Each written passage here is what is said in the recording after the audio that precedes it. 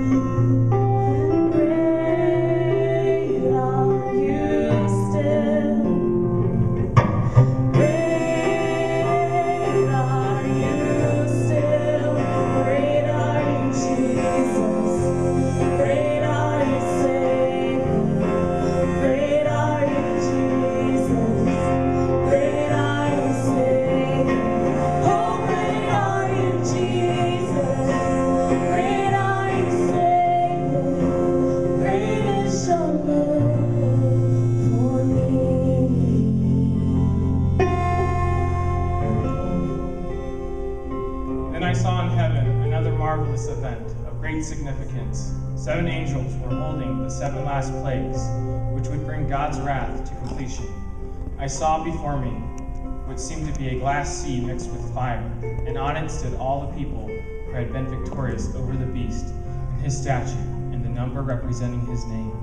They were all holding harps that God had given them, and they were singing to this. They were singing the song of Moses, the servant of God, and the song of the Lamb. Great and marvelous are your works, O Lord God the Almighty. Just and true are your ways, O King of the nations. Who will not fear you, Lord, and glorify your name? For you alone are holy. All nations will come and worship before you, for your righteous deeds have been revealed.